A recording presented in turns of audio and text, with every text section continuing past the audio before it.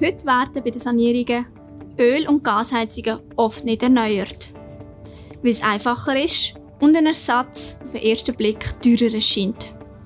Dabei lohnt es sich aber langfristig auf eine nachhaltige Heizung umzustellen, finanziell und fürs Klima.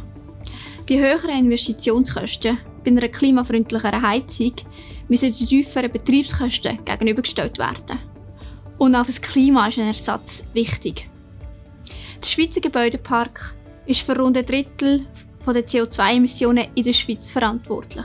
Dabei haben rund 60 Prozent der Schweizer Liegenschaft noch eine Öl- oder eine Gasheizung. Das ist ein sehr hoher Anteil und der muss in den nächsten Jahren drastisch reduziert werden.